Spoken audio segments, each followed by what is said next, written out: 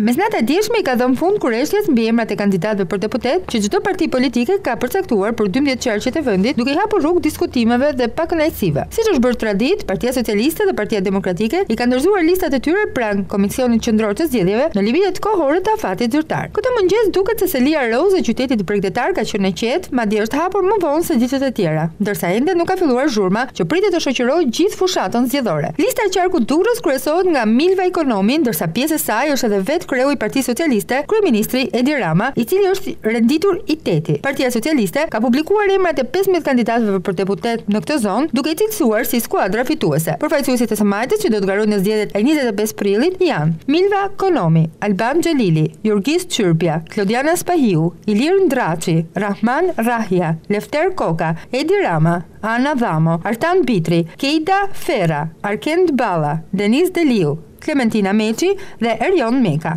Më herët, Krye Socialisti ka dekleruar se për qarku në dursit, objektivi bas për këto zjedi është 8 mandate, ndërsa i maksimal 9 deputet.